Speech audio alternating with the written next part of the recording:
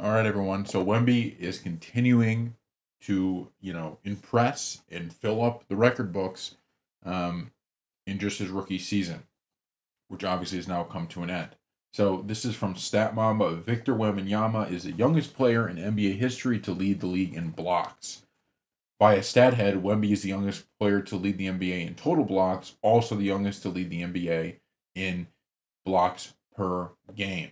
So this season he had 254 blocks and 3.6 blocks per game. Can we can we just think about that?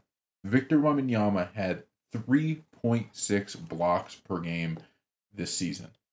That is absolutely stunning. If you go and you look at the rest of the blocks per game uh, this season, the next closest one is Walker Kessler at 2.4, Brook Lopez at 2.4, Anthony Davis at 2.3, Chet Holmgren at 2.3, Nic Claxton at 2.1, Gafford at 2.1, and Gobert at 2.1.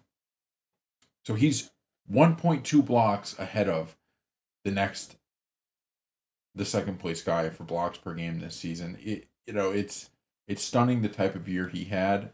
Um, I think you know honestly, in some ways, it got off to a little bit of an inconsistent start, and I think some people were kind of like, okay, this is how it's going to be. He averaged 21, 10, and 4 in his rookie season. Can't complain about that. Can't complain about that. So thank you all for watching. I hope you enjoy some of these stat things because I just find them interesting. Uh, you know, so that's why we're putting them out there. And so let us know what you think in the comment section below, and we will see you next time.